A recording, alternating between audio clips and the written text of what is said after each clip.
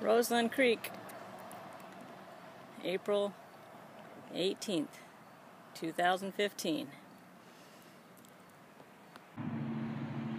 This is the start of one of the pathways into the Roseland Creek Nature Preserve, located in Roseland, surrounded by southwest Santa Rosa.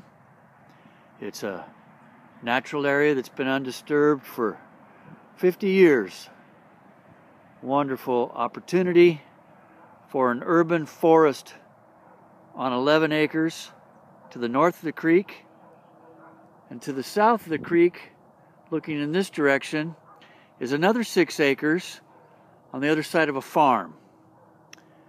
That 17 acres could be the start of a wonderful urban nature preserve a roseland arboretum botanical garden all types of nice things could occur here at this site. It will take some vision and foresight, but this is something the community could do.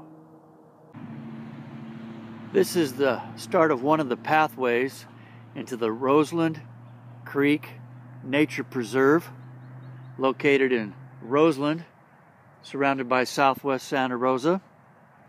It's a natural area that's been undisturbed for 50 years wonderful opportunity for an urban forest on 11 acres to the north of the creek and to the south of the creek looking in this direction is another six acres on the other side of a farm. That 17 acres could be the start of a wonderful urban nature preserve a roseland arboretum botanical garden all types of nice things could occur here at this site. It will take some vision and foresight, but this is something the community could do. Walking.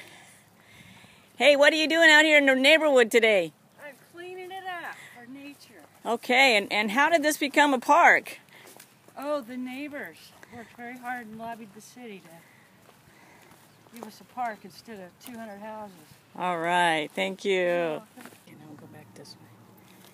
This is the small little path that's being created in the neighborhood to help preserve the woods, keep people from going through and overusing it. This path will hopefully direct the pedestrians through the beautiful woods in a very sensitive way.